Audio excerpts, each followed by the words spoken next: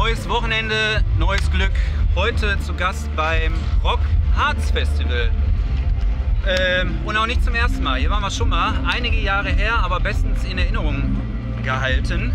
Und ähm, sehr viele Metal-Bands.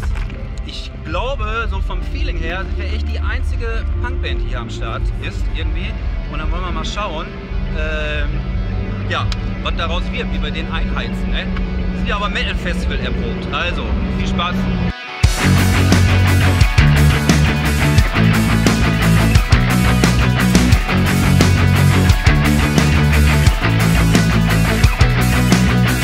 was wirklich wichtig ist.